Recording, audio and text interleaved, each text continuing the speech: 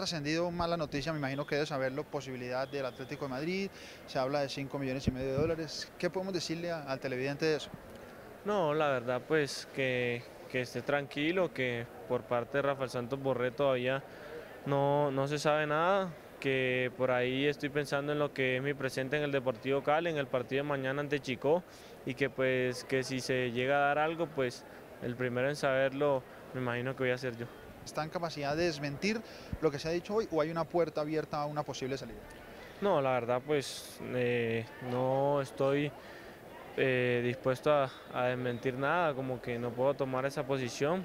Eh, que sea lo que Dios quiera, trato de, como te digo, de que ese tema sean ellos que, que lo manejen. Yo trato de, de estar informado al máximo y si se da, pues que bienvenido.